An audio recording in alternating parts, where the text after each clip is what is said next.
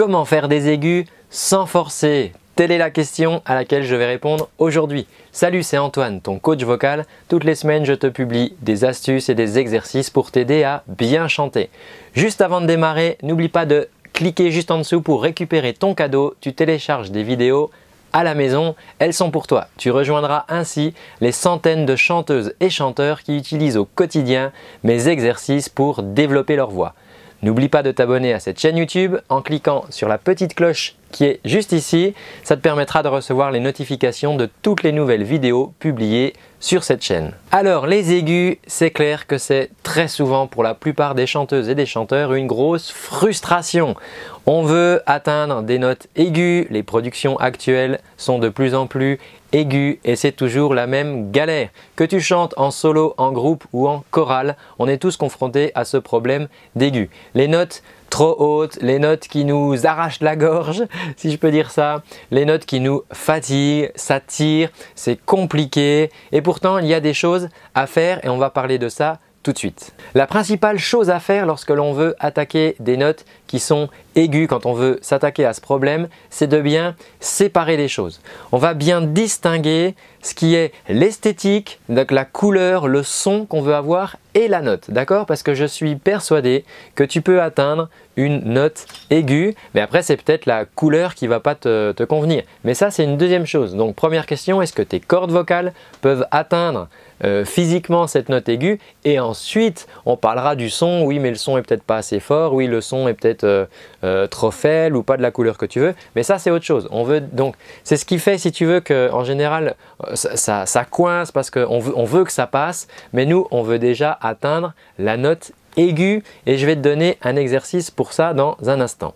Juste avant, si tu as des amis qui coincent sur les aigus et à qui tu veux rendre service, eh bien n'hésite pas à leur partager cette vidéo et à mettre un petit pouce au passage. Alors passons à l'exercice. On va utiliser un NG, un ng, tu sais, comme on a à la fin de parking par exemple, ing ou de sing. Et tu vas me dire ce que fait ta langue lorsque tu fais ça. Ing, On va démarrer en A et on va faire A, ung. Si tu observes bien ou si tu t'attaches aux sensations, l'arrière de ta langue va venir toucher le haut, là le, fond du palais, et va venir comme ça bloquer l'accès à la bouche. Et puis ta pointe de langue, elle par contre, elle fait rien. D'ailleurs, si je veux, je peux la bouger, regarde. Ok, ça, ça va être notre position de travail pour savoir si tes cordes vocales peuvent aller dans les aigus. Et il n'y aura pas de question d'esthétique, il n'y aura pas de question de, puissance ou de volume. Nous, on veut juste savoir si ta voix peut aller dans les aigus sans coincer. Donc, ce qu'on va faire, c'est qu'on va s'amuser à faire des petites sirènes comme ça.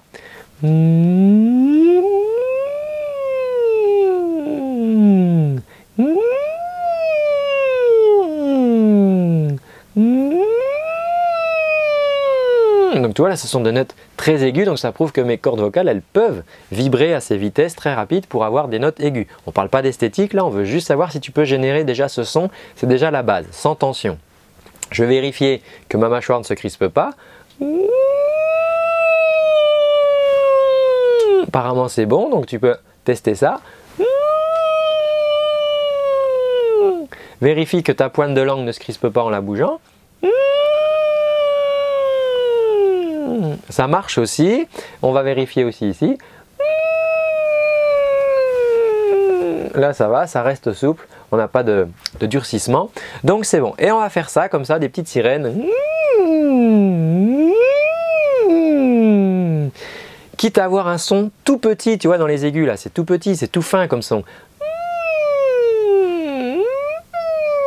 Mais c'est pas grave, c'est juste déjà pour entraîner à mes cordes vocales à vibrer euh, suffisamment rapidement pour générer ces notes aiguës sans que ça coince, sans tension. Maintenant, ce que tu peux faire, c'est que tu peux prendre une chanson sur laquelle ça coince et la faire avec ce NG. Donc, tu vas faire la mélodie et tu vas la faire toute liée.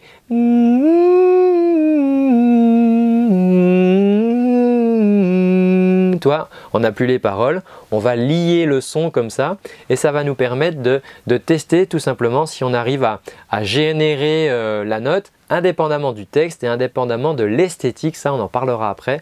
Entraîne-toi déjà là-dessus. Voilà, j'espère que cette vidéo t'a plu. N'hésite pas à la partager, à t'abonner à cette chaîne YouTube.